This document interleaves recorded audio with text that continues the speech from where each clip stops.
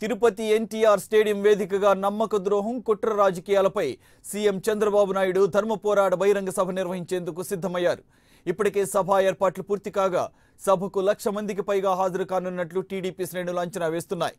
తిరుపతి నగరంలో బహిరంగ సభ ఏర్పాట్లపై మా ప్రతినిధి విజయమూర్తి మరిన్ని వివరాలు అందిస్తారు.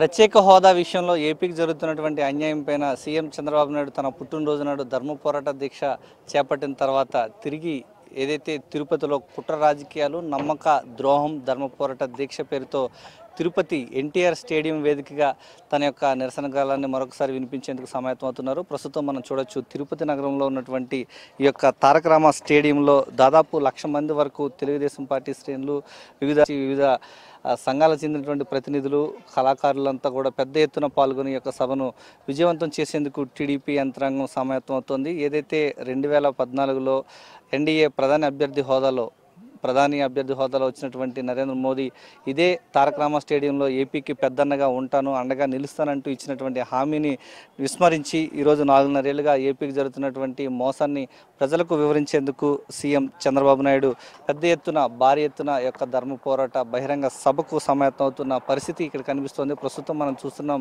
ఏదైతే ఎన్టీఆర్ స్టేడియంలో గతంలో ఎన్టీఆర్ స్టేడియంలోనే ఇదే స్టేడియం వేదికగా ఏదైతే ఎన్నికల ప్రచార సమయంలో ఇదే వేదికగా పెద్ద ఎత్తున ఏర్పాటు చేసినటువంటి పరిస్థితి కనిపిస్తోంది. ప్రస్తుతం మనం చూడొచ్చు నమ్మక ద్రోహం కుట్ర రాజకీయాలపై ధర్మ పోరాటం పేరుతో ఈ యొక్క సభ మందిరాన్ని సభ ప్రాంగణాన్ని ఏర్పాటు చేశారు. ప్రత్యేకించి తెలుగుదేశం పార్టీ శ్రేణులు ఇప్పటికే పూర్తి స్థాయిలో ఇక్కడ ఏర్పాట్లను పర్యవేక్షిస్తున్నారు. ఎమ్మెల్సీ శ్రీనివాసులు మంత్రి అమర్నాథ్ రెడ్డితో పాటు ఇతర టీడీపీ ఎమ్మెల్యేలంతా కూడా పెద్ద ఎత్తున ఈ యొక్క సమాయత్తం అవుతున్న పరిస్థితి కనిపిస్తోంది. ప్రత్యేకించి దాదాపు లక్ష మందికి పైగా తెలుగుదేశం పార్టీ కార్యకర్తలు ప్రజలు అంతా కూడా ఈ యొక్క సభా మందిరానికి రానున్న నేపథ్యంలో ప్రత్యేకమైనటువంటి ఏర్పాట్లు చేస్తున్న పరిస్థితి ఇక్కడ కనిపిస్తుంది. రేపు మధ్యాహ్నానికల్లా సీఎం చంద్రబాబు నాయుడు తిరుపతి చేరుకున్నటి నుంచి తిరుమల శ్రీవారి దర్శనం చేసుకుని తర్వాత నేరుగా ఇక్కడ ఉన్నటువంటి తారకరామ స్టేడియానికి ఆయన రాబోతున్నారు. ఈ నేపథ్యంలోనే ప్రత్యేకమైనటువంటి